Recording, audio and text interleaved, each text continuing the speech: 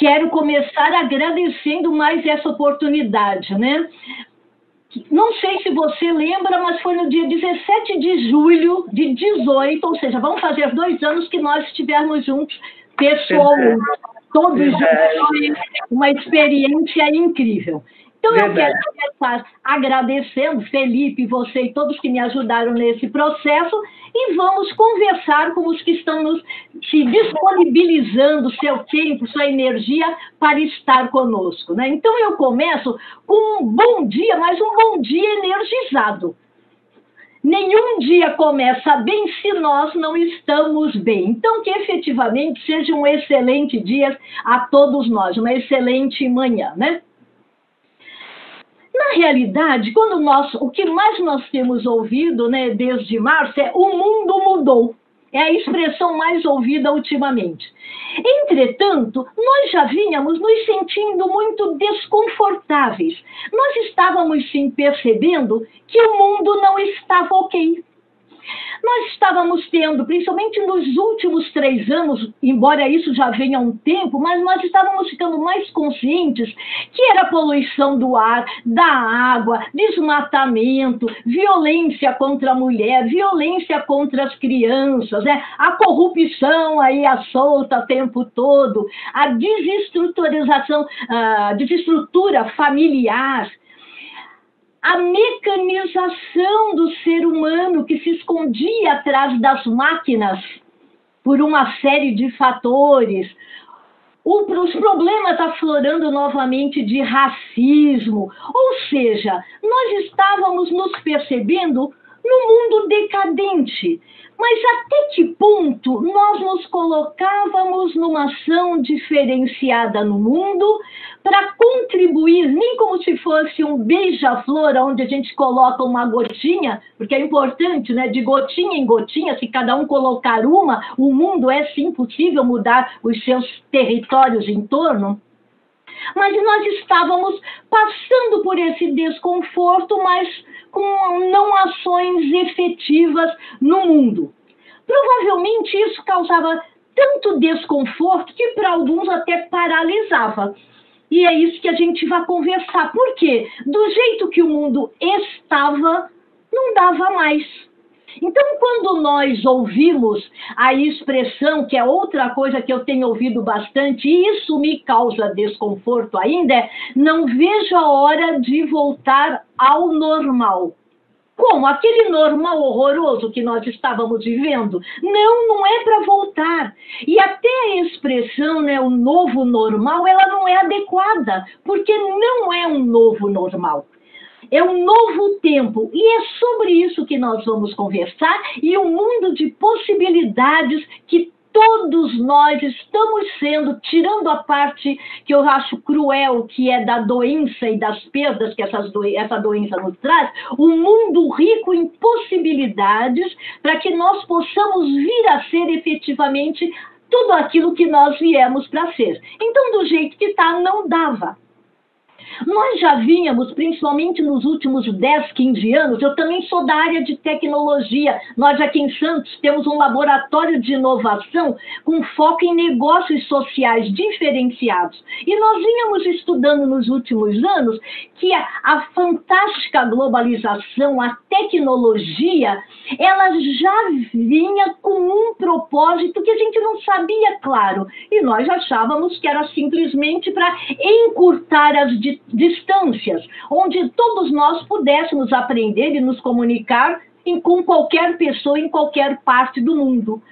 Mas, ao mesmo tempo, nós começamos a analisar que essa tecnologia maravilhosa, que nós acreditamos que ela seja assim, ela vinha também encurtando a distância afetiva e quando a gente pega desde 84, principalmente, onde as famílias faziam questão de almoçar junto, tomar café junto, pelo menos uma refeição juntas, em 2020, mesmo quando juntos, em restaurante, em casa, o isolamento era total. Olha lá a palavra. O isolamento já existia.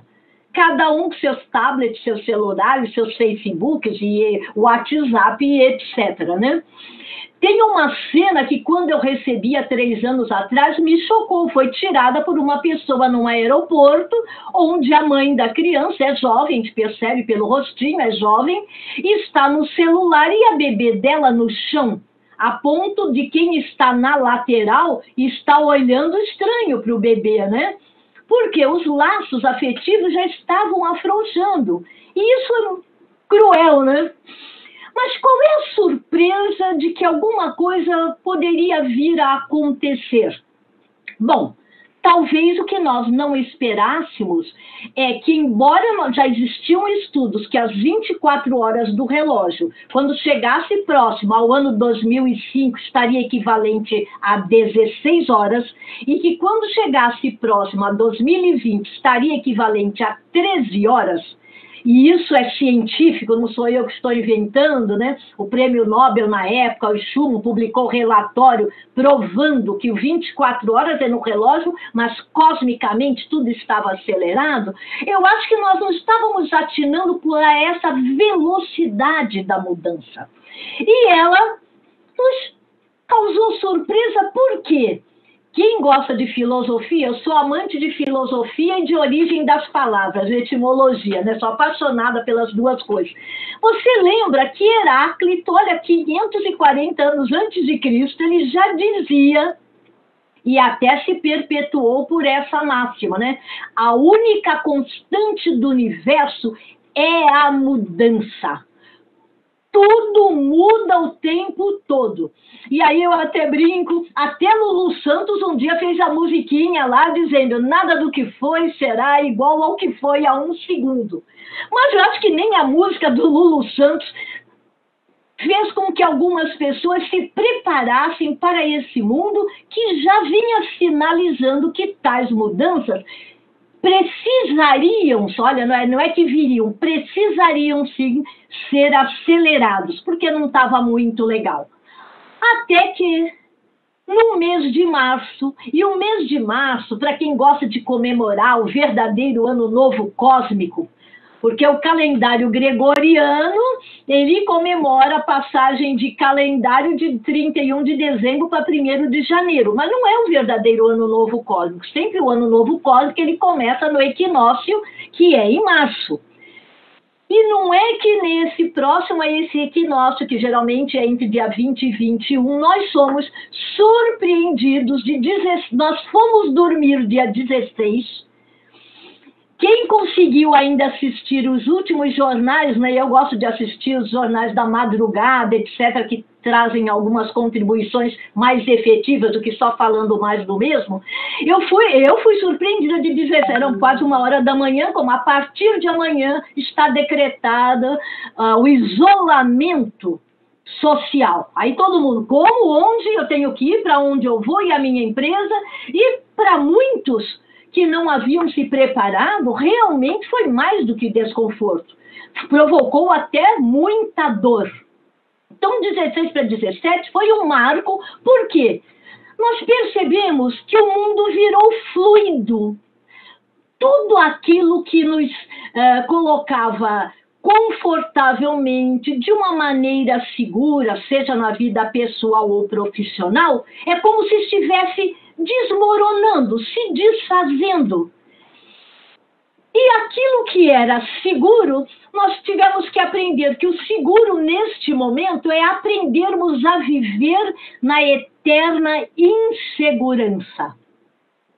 Esse mundo agora, que é um mundo novo, então não é um novo normal, é uma nova era que se configurou, ela está sendo chamada da era do imponderável nunca mais nós vamos dormir sabendo que aquilo que nós nos planejamos na noite anterior, na hora de dormir, e eu tenho o hábito de sempre antes de dormir olhar a minha agenda do dia seguinte, com quem que eu tenho que falar, que horas que é, né? Então eu já me preparo isso. Agora nós, embora nós tenhamos um roteiro, vamos chamar, daquilo que nos cabe, talvez, para o dia seguinte, nós já temos que dormir preparados para o imponderável.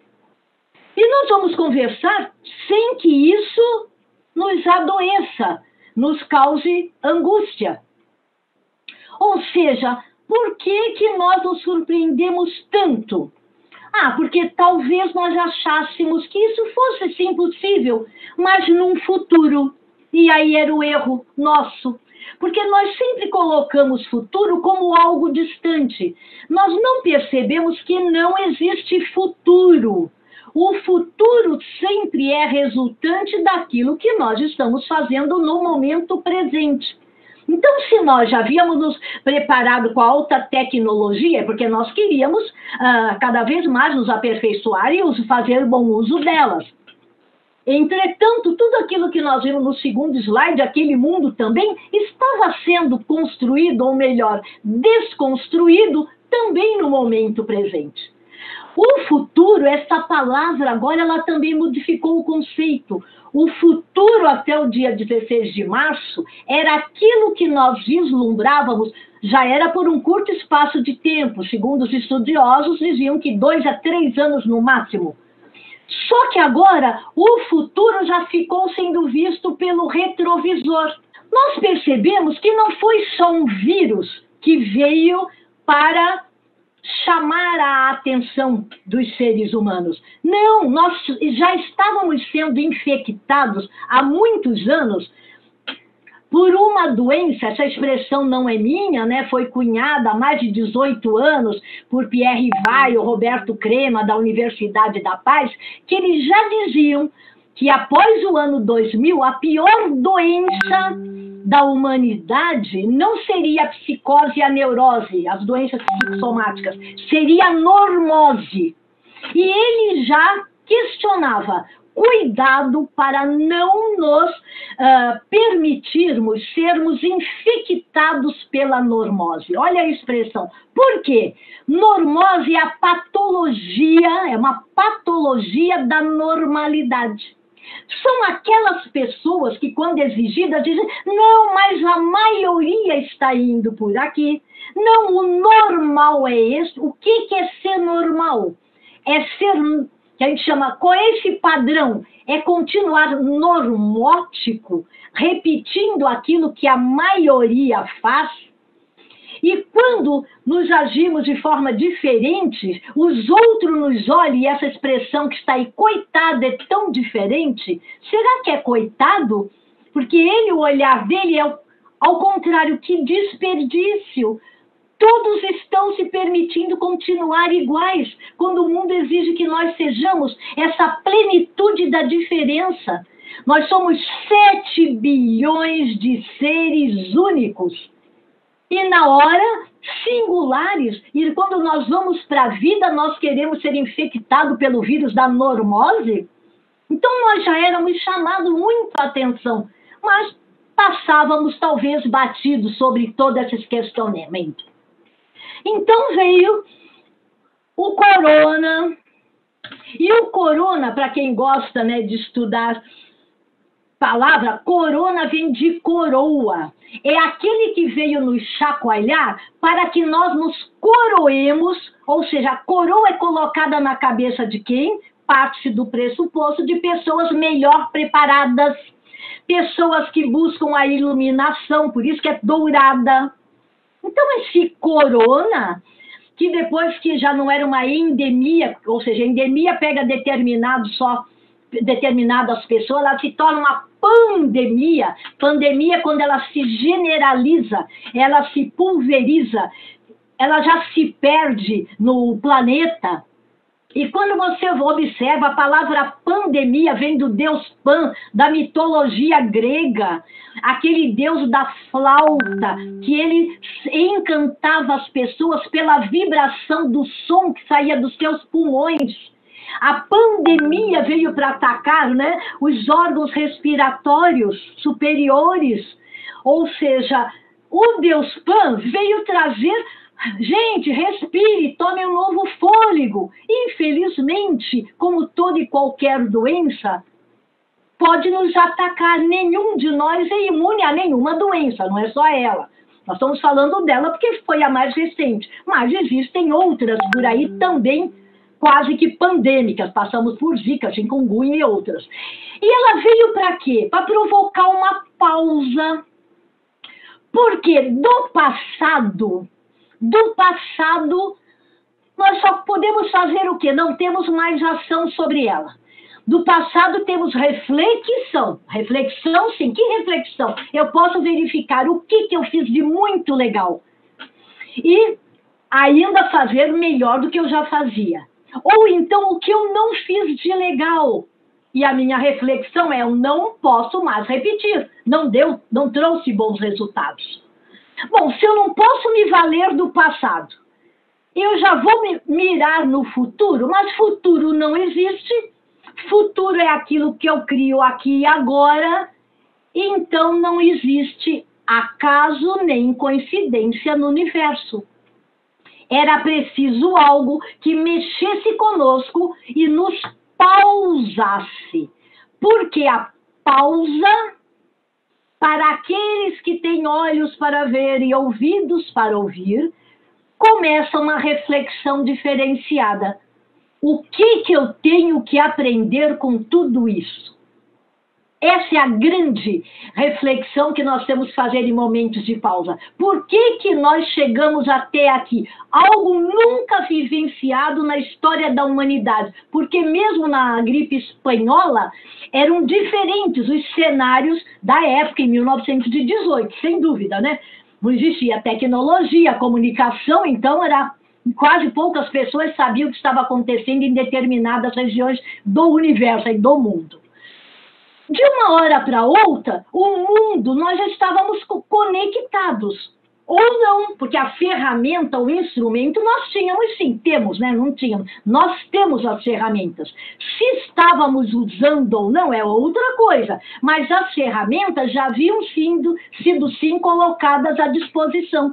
E nós nos vimos da noite para o dia colocados dentro de casa. Nós adentramos as casas dos nossos colegas, dos nossos clientes.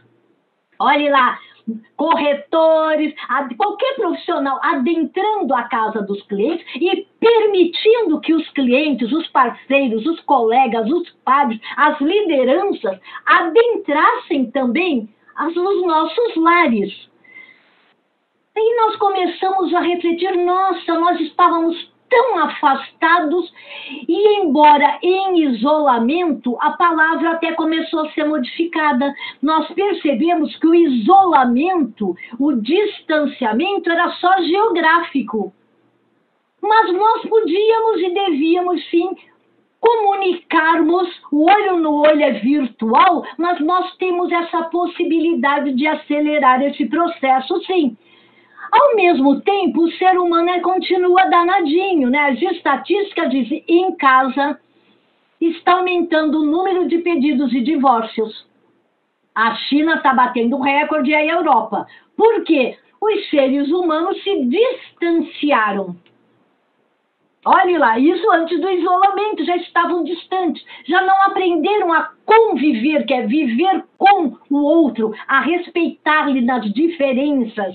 E isso provocou choques, conflitos, etc. Então, esse aumento de pedidos de divórcios aumentou violência doméstica, alguns jovens não aguentando, também aumentou o número de suicídios, etc. Ou seja, será que a pausa está nos levando a avanços? É outro questionamento que nós temos que continuar fazendo. Por quê? Essa frase não é minha, mas eu acho bárbara. É de Caio Fernando Abreu, que diz: e de repente a vida te vira do avesso. E você descobre que o avesso é o seu lado certo refletindo sobre ela, porque o bom, principalmente o bom ser humano, o bom profissional é que reflete, ele medita, dita para si mesmo aquilo que ele lê. Quando eu li essa frase, eu lembrei, eu venho de família pobre, comecei a trabalhar com 11 anos, eu e minha irmã em criança, nós, minha mãe costureira, ela é costureira até hoje, Toda vez que a nossa roupinha ficava refletindo sobre ela, porque o que, que ela fazia? Bom, ela virava o ser humano o do avesso, porque o avesso ainda não estava descolorido, o avesso, o avesso estava ainda brilhante. E eu pensando nisso, eu fico até com vontade de chorar, lembrando de tudo isso. Eu falei, meu Deus, a minha mãe só tem o quarto ano primário, como ela era sábia. Porque a gente dizia, ai mãe, nós vamos usar isso. Ela dizia, olha o brilho que estava escondido atrás, olha que bacana. Então, na sua simplicidade, ela nos chamava a atenção que é por dentro que nós temos o maior brilho.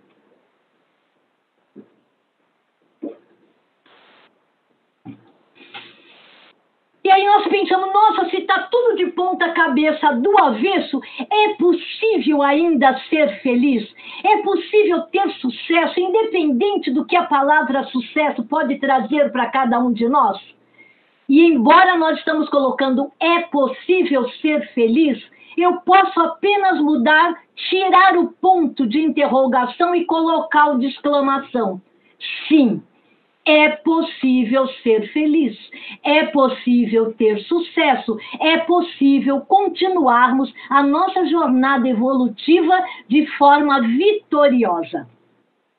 Então, olhe lá, nós já começamos a mudar, cada um do seu jeito, cada um no seu ritmo, mas essa pausa sim está provocando mudanças. Então, bora ser feliz, como dizem os jovens, vamos juntos ser felizes?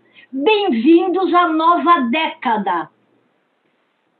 O século 21 ele foi clamado, não é conclamado nem reclamado, ele foi clamado em março. E sinalizou, gente, vocês não perceberam que nós estamos adentrando uma nova década. 2020 a 2030 e nunca mais as coisas serão tais quais foram que não estavam bacanas e entramos efetivamente naquilo que nós conversávamos. E eu lembro, e a Simone vai lembrar, e o Felipe, que no dia 17 de julho de 18, a minha conversa já era sobre o futurismo, o corretor 4.0. Há dois anos atrás já falávamos disso e parecia algo distante. Hoje esse mundo foi inaugurado. É o mundo, a gente chama disruptivo, da disrupção, ou seja, da desconstrução do velho para que o novo emerja. Vocês devem estar cansados de ouvir nos, dos, dos outros demais palestrantes, lives, etc., que adentramos o mundo VUCA, que já tinha desde 2011 no Fórum Econômico Mundial já sinalizado que 2020 estaríamos no auge do mundo VUCA. O que é o mundo VUCA? Um mundo verde volátil, o do inglês que é incerto, um mundo complexo e um mundo ambíguo, ou seja, onde nós a cada dia temos que estar preparados para o novo que vem e temos que tornar o complexo simples. Isso exige de nós uma ressignificação total. Começando é por nós, temos que é realmente, nós cansamos da mesmice, muitas coisas boas nos esperam, mas o esperar é, significa que nós temos que fazer acontecer, não é esperar que alguém faça por nós. E o trabalho, que até então era visto como sacrifício, ele recupera a verdadeira origem, que não é aquela latina de tripalium, de sacrifício, não. A palavra trabalho sempre existiu desde que o mundo é mundo. Sempre houve, sempre haverá trabalho. As pessoas confundem trabalho com emprego. Não precisa haver emprego. Eu tenho que estar preparada para o trabalho. De que forma, de que formato ele vier. Ok? Porque o verdadeiro sentido da palavra trabalho é sacro ofício, ofício sagrado, aquilo que nos eleva. Opa, então agora tem um significado diferente. O trabalho é aquilo voltado ao que eu amo fazer, aquilo que vai cumprir para o propósito para o qual eu nasci. Se eu ainda não sei o propósito para o qual nasci, eu posso me permitir a ouvir a voz do silêncio, me colocar um pouco nesse silêncio, ouvir o meu eu verdadeiro, através de N práticas de meditação. Eu não preciso ir para a montanha no Tibete. Seria até bacana, embora agora todas as viagens estão né, não permitidas. Mas eu posso estar aonde eu quiser estar E posso até colocar a imagem, né? Agora, com a tecnologia, eu posso colocar a imagem de uma montanha lá no Tibete e ali eu me encontrar e meditar e buscar significados diferenciados para uma série de coisas que eu vinha perpetuando, infelizmente, na minha vida. Ou seja, o mundo do trabalho mudou. Tudo aquilo que era virtual, de uma hora para outra, se torna real. Essa quarta revolução diz que até mudou o nome do mundo. O mundo agora é FI digital. No inglês é o PHY, digital. No português é da forma como está aí, FI digital. O que, que é isso? Cada vez mais o mundo vai ter parte física, ou seja, é híbrido, né? Uma parte eu vou estar fisicamente, mas predominantemente eu vou estar virtualmente, digitalmente. Então, por exemplo, outro dia eu estava com um grande amigo meu, um grande corretor, que ele falou: Olha, Lúcia, a princípio eu estava com muito medo, mas ele falou: ainda bem que eu sempre fui um amante da tecnologia, um fuçador. Ele fala fuçador, eu fui um fuçador. Então o que, que eu fiz? Eu acelerei, peguei todas as fotos dos meus imóveis, eu criei filminho, não era um tour virtual, mas eu fiz o melhor que pude. As construtoras que já tinham tour virtual, eu solicitei, eu mandei, escolhi os clientes com maior potencialidade porque o imóvel é tido como nessa nova era que começou ainda como um grande bem. Ah, mas os jovens não querem mais comprar, eles querem cada hora estar num lugar. Sim, mas para cada hora ele está, uma hora ele mora num bairro, uma hora ele mora ao outro perto do trabalho, ele vai precisar alugar. E para ele precisar alugar, alguém vai ter que comprar o imóvel para poder alugar para ele. Então o mundo já está sinalizando que essa área vai bombar mas vai fazer a diferença para quem está se preparando. E ele, ainda ante, anteontem, falei com ele, né? Falei, olha, eu vou fazer é, uma live junto com o nosso pessoal do Cresce. Ele falou, ah, Lúcia, então pode levar que eu estou muito feliz. Nesses 90 dias, eu já consegui vender cinco imóveis. Coisa que em janeiro e fevereiro eu não tinha vendido nenhum. Então, olhe lá. Quando aparentemente estava tudo normal, eu não estava vendendo lufas. E esse mundo me exigiu que eu me reinventasse. Que fiz eu? Mandei virtualmente, para as pessoas dos prédios, então eu já avisava o RG, eu dava os dados, o cliente eu não ia com elas para preservá-las a saúde, já recomendava a prática que deveria se apresentar no prédio de máscara, procurar por uma pessoa específica, que ela estaria em meu nome, né? ou seja, ele criou um script, uma coisa bacana, onde as pessoas visitavam já dentro do padrão, no ele falou de três a cinco imóveis, Lúcia, e dali, olha, era raro um daqueles não serem fechados. Ou seja, todo esse mundo ele veio para facilitar e não para dificultar. Toda a papelada que as pessoas precisavam, eu já mandei o que precisavam, cada um preparando, e os cartórios virtuais. Ou seja, tudo que nós pudemos acelerar, nós aceleramos.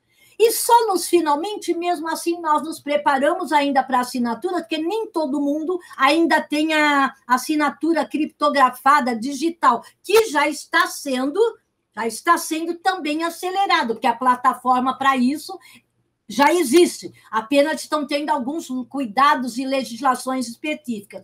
O que eu quero dizer com isso? Que o mundo mudou. Mas mudei eu, mudei o meu olhar com relação a tudo isso que aconteceu e que vai continuar aceleradamente acontecendo. Por quê?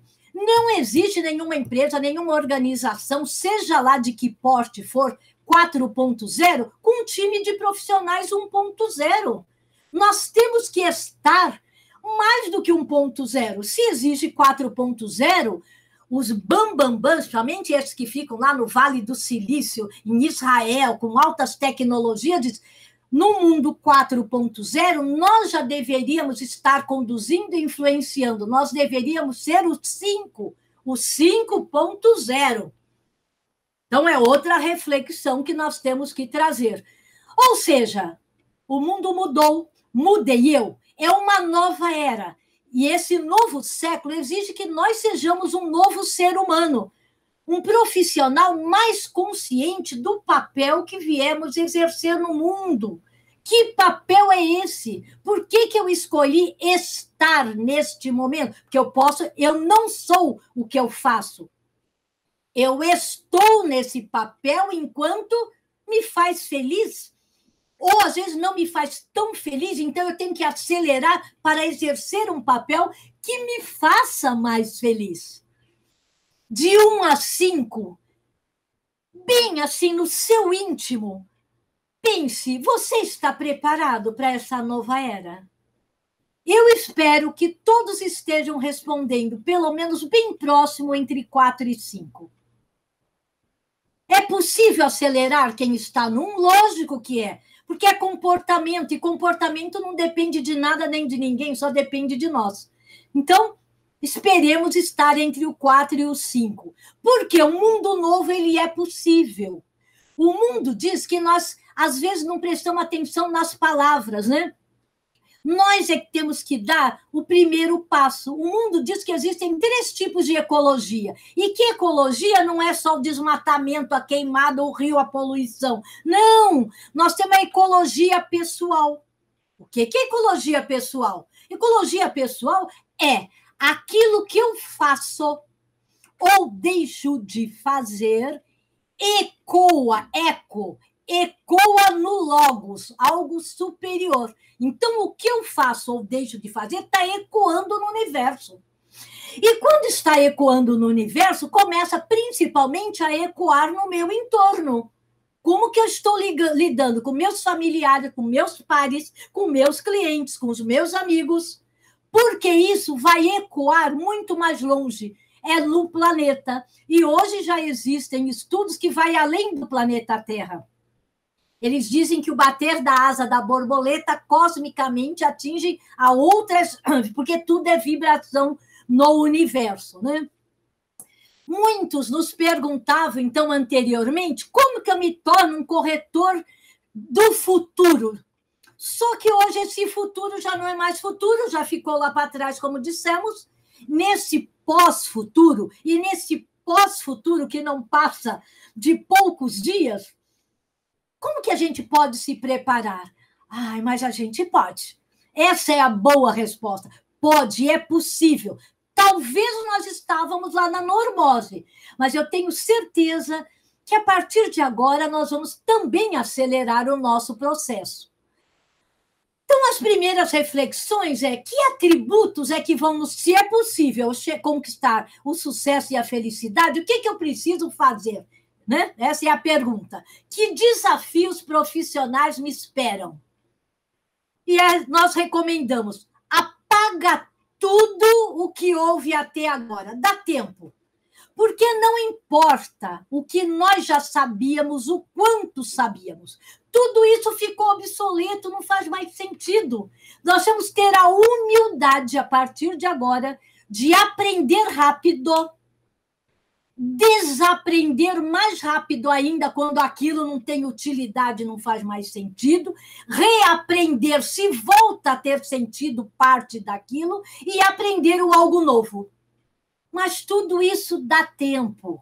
Isso que é bacana, né? Essa tranquilidade. A primeira coisa, e o que a gente tem mais visto nos classificados, é que a procura por corretores continua muito em alta.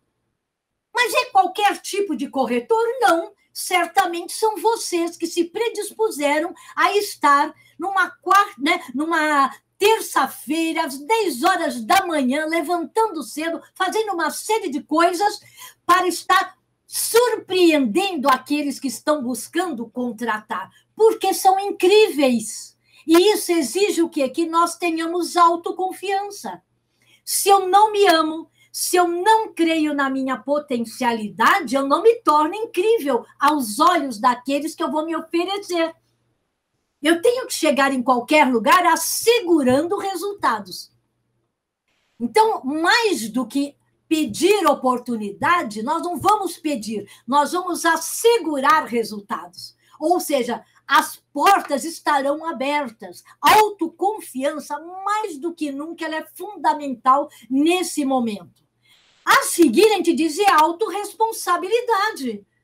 Se tudo isso está mudando e me exige novos aprendizados, eu sou responsável por acelerar ou não esse processo. Hoje isso é chamado de lifelong learning. O que é essa expressão?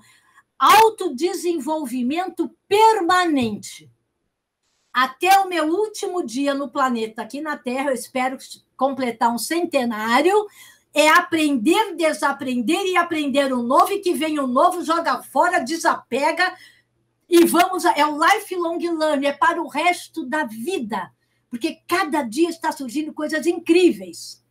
Mas para isso, não existem fórmulas mágicas, a gente até brinca, né? Ninguém dorme bruxa e acorda Cinderela. Se eu quero ser a Cinderela da área de imóveis, eu preciso, em primeiro lugar, estar à frente. Uma expressão errônea que nós ouvimos é: ah, eu preciso correr atrás. Quando eu digo que eu preciso correr atrás, eu estou sinalizando o quê? Que tem gente na minha frente. O mundo exige que nós é que estejamos à frente. Quem quiser que corra atrás de nós. Nós temos que ser o Ayrton Senna, que ele não se conformava com o segundo lugar. Ele dizia que o segundo lugar já era dos perdedores, porque o pole position é sempre do primeiro. É aquele que é o entrevistado, é o que é chamado, é o que é televisionado. É o... Ou seja, o estar à frente, mais do que nunca se faz necessário. E para isso, nós temos que analisar as tendências que estão vindo Quais são os novos cenários? Que impacto esses novos cenários terão sobre a área que nós trabalhamos, nos nossos mercados e etc. O segundo é nos tornarmos exponenciais. E exponencial, ele tem algumas qualidades exigidas. A flexibilidade, a adaptabilidade, ou seja, ser antifrágil. Eu vou traduzir isso. Até dia 16 de março, e tem gente repetindo até agora erroneamente, a palavra que mais se ouvia era ser resiliente. Ser resiliente, como diz, é levar uma cacetada e voltar ao estado natural. Aí o mundo diz: não, não adianta levar cacetada.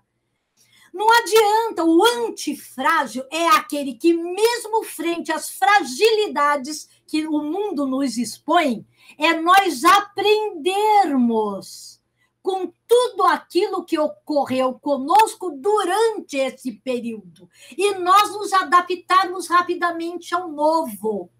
Então, não é só curvar-se e voltar ao mesmo ponto. Ao contrário, entre o curvar e voltar, o que, que eu aprendi? Senão eu volto para repetir as mesmas coisas. Não me tornarei exponencial. Então, essas três palavrinhas mudaram a conotação que até então a resiliência hoje é muito mais do que ser resiliente. Outra qualidade exigida é que nós cuidemos das nossas habilidades socioemocionais mente e emoção o tempo todo em equilíbrio. As coisas não estão fáceis, não é só para mim, nem para você, não está fácil para ninguém. Todo mundo está, tá, O pessoal diz: estamos no mesmo barco, também errado. Estamos na mesma tempestade, mas cada um está num barco. E tem gente que não tem barco. Tem gente que se agarrou a um tronco ou se agarrou a um pneu furado. Olhe lá, a tempestade é a mesma porque veio exatamente para mostrar que todos nós somos um. Que a gente tinha esquecido disso, nós tínhamos separado do universo.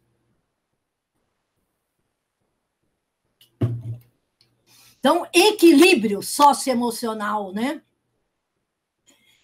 A forma de nós nos comunicarmos de uma forma assertiva, mas principalmente agora afetiva evitar conflitos, ou seja, é o respeito à riqueza da diversidade. É quando o outro se posicionar de uma maneira frontalmente contrária à minha, em vez de eu sair brigando, é o contrário. Eu chegar e falar: nossa, que interessante o olhar que você tem. Eu não havia tido esse olhar. Eu não estou dizendo que eu concordo com ele, mas eu estou dizendo que o olhar dele eu não havia olhado sobre aquele prisma, sobre aquela ótica. E isso as diferentes gerações que conosco trabalham nos escritórios, que agora serão menos horas de escritório e mais horas virtuais, mais juntos nos comunicando. E essa comunicação cada vez mais tem que ser assertiva e afetiva, generosa para uns com os outros.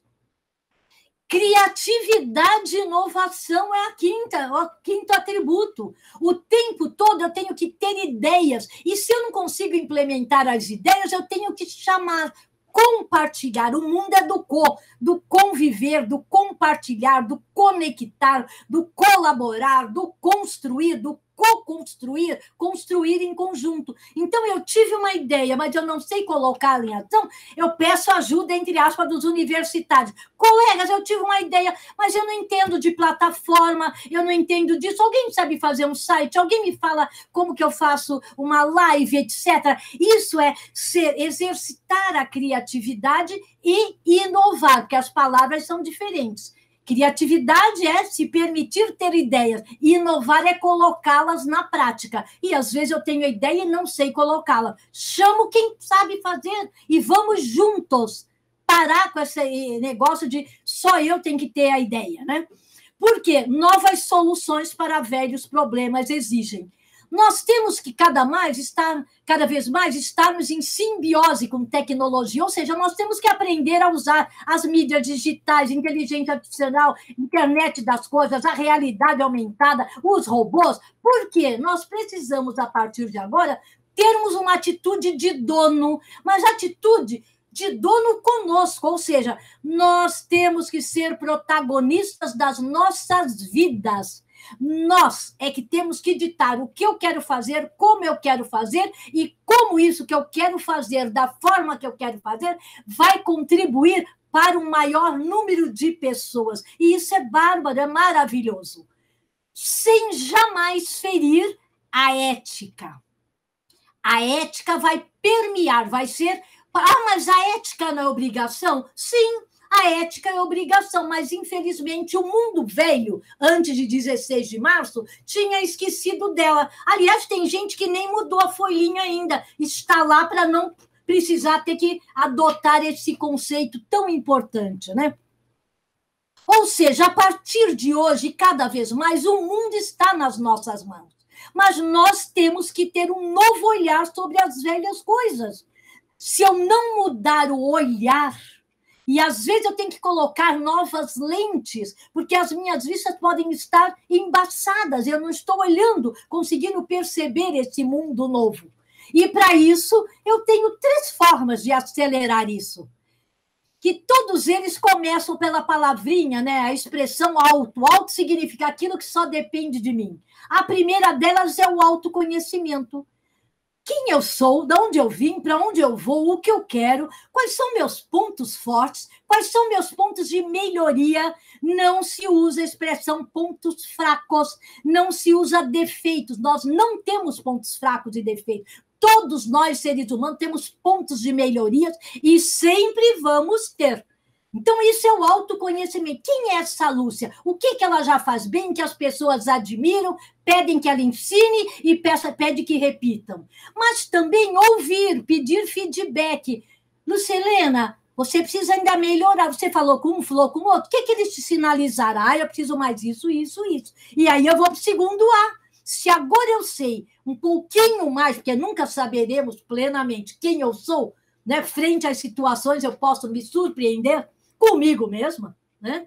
Mas agora estou um pouquinho mais familiarizada com essa Lúcia aqui, eu vou em busca do autodesenvolvimento, aonde ele estiver. Não precisa ser em escolas físicas pode ser virtuais, colegas, aquele mendigo que está na rua, que eu bato um papo com ele e eu vejo que. Outro dia eu conversei com um que veio do Paraná e ele fala cinco línguas e que ele estava ali porque ele pegou a mulher com outro. E ele, para não matá-los, ele veio para Santos. Um cara sensacional. Agora eu passo por ele, estou sempre aprendendo muito com ele. Essa humildade é fundamental na minha, no meu processo de autoconhecimento e autodesenvolvimento. Porque aí eu vou para o terceiro autotransformação. Ou seja, se eu quero transformação, são três palavras: transforma e ação. Se eu quero transcender essa forma de Lúcia Helena, se eu quero transcender na minha forma de ser, agir e pensar, eu tenho que me colocar em ação diferenciada. Aí sim, esses três As misturados vai para um outro alto. Transmutação. É aquele exemplo da borboleta, que de uma lagarta ela se vê uma coisa nova.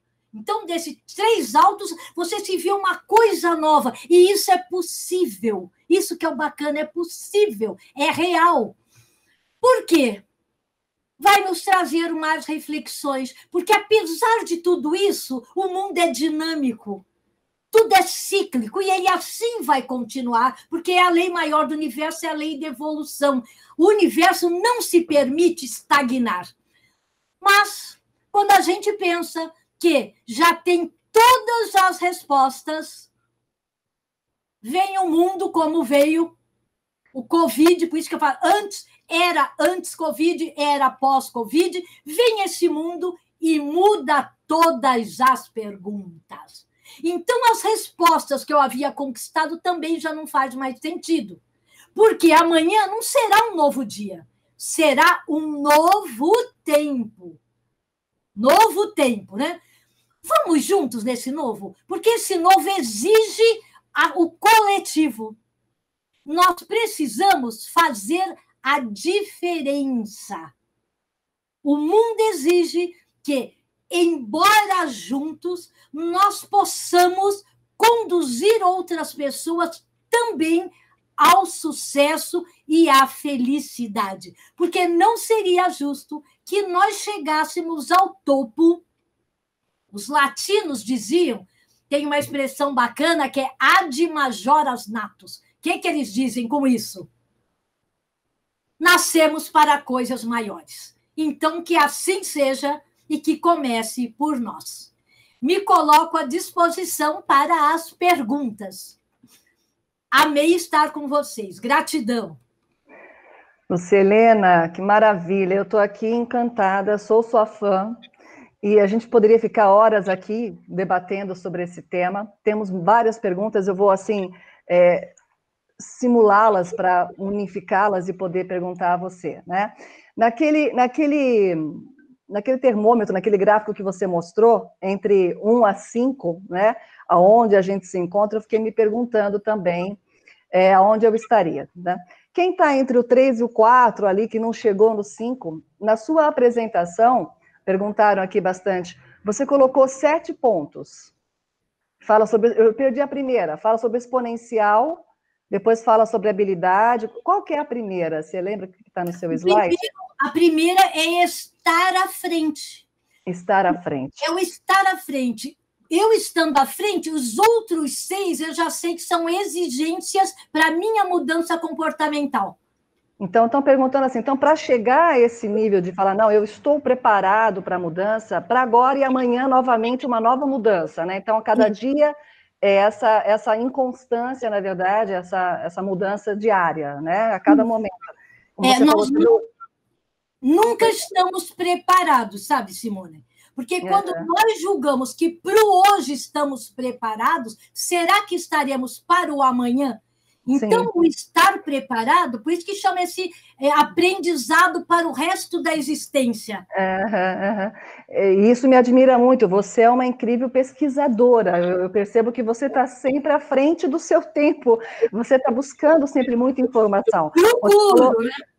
Procuro. Mas às vezes eu me pego devendo e eu fico muito chateada comigo. Não é você como... se cobra, você se é. cobra muito, né? Mas você comentou, né, em julho do ano passado, de 2018, que você esteve falando sobre o corretor 4.0.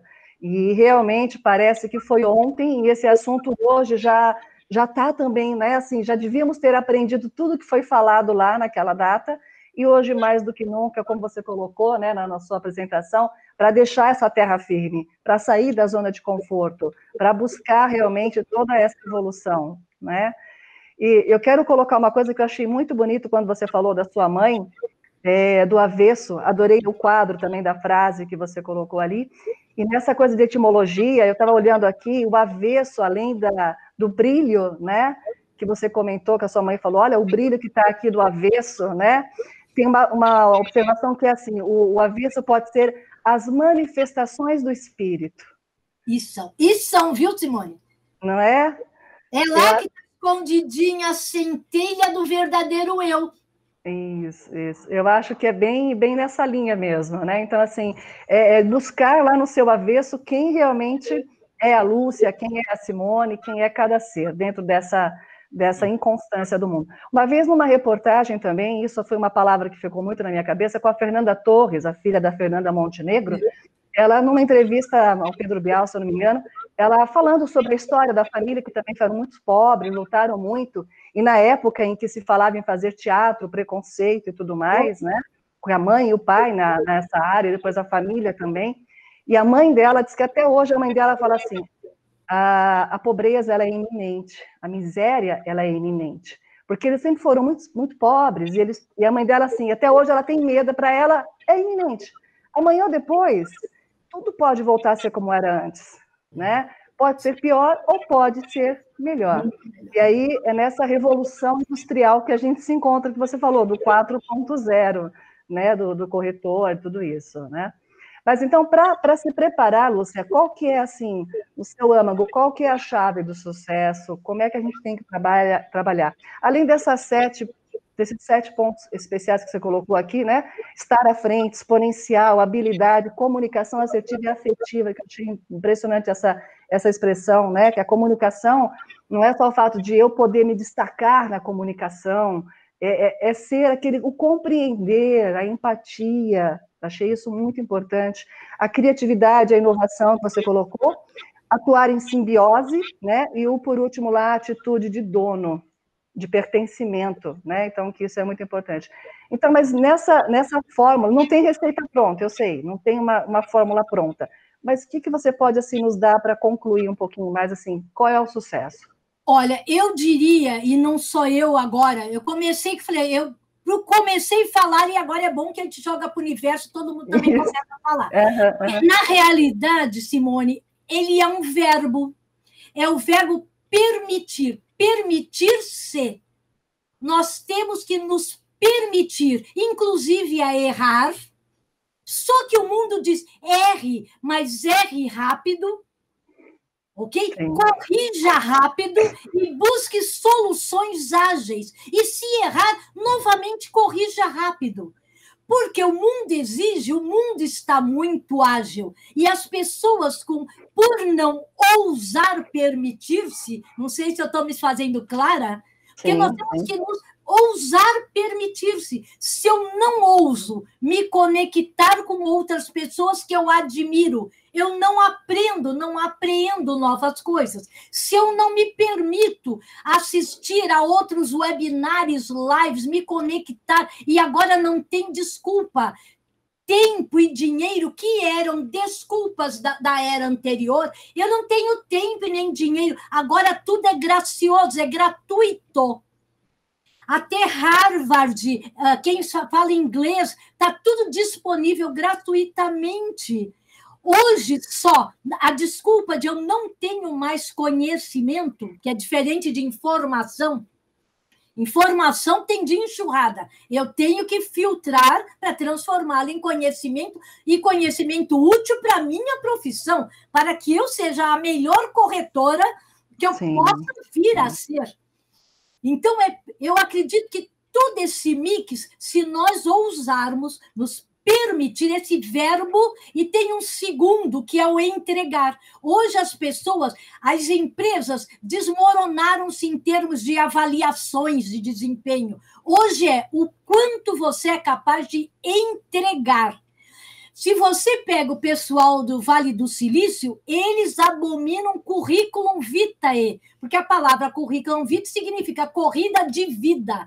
Ele não quer receber currículo, ele quer saber o que você aprendeu durante a sua corrida até agora, que pode ser diploma, não diploma, correu sozinho na vida, acompanhado eles querem mensurar o quanto você é capaz de entregar, que é o outro verbo, permitir-se e entregar.